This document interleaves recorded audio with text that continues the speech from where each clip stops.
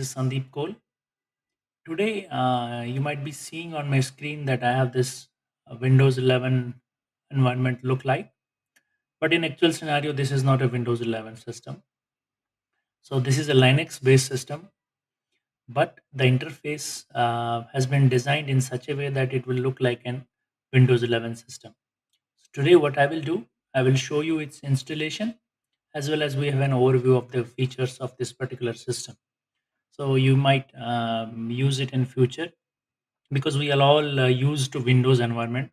So this environment gives us a feel of uh, Windows. You can see if I click on this console, it opens the uh, you know an interface which looks like more like a uh, Windows 11 environment.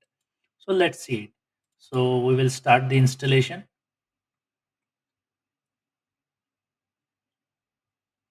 So what I have done, I have loaded this on my uh, VirtualBox environment, as you can see from the screen. And you can also try it on your VMware or VirtualBox, or uh, you can try it on your uh, ma- machine itself by creating a uh, bootable USB. Now, this is the first step. Let me go to the next. So you have to select here the location. It is quite easy. Uh, just a minute. Let me select my location, which is Dubai. Here we go. Uh, there is some issue with the interface, I think, that the yeah, I need to just expand this window so that I can change my language. Yeah, this might be an issue with my system because I have loaded it on VirtualBox. So let me put something like this. Uh, I will I will go with English. So let me select that language.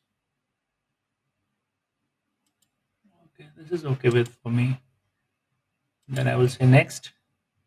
Then it will detect the keyword uh, you have. You can see if you, it is presenting your keyboard and you can check it.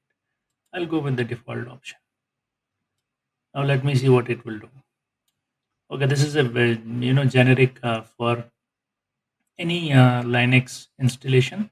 It'll ask you whether you want to erase disk or you want to manually do the partitioning. I will say erase disk because I'm using a virtual box, so it's okay for me. So what I will do, um, I will say next.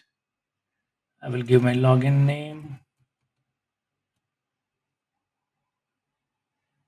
Then I will put my password. Sorry, I will key in my password. Then I will say install. So you know this is just three four steps and the installation has begun.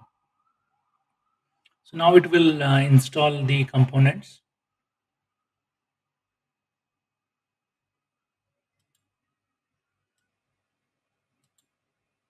So okay, it's, it's all done. The installation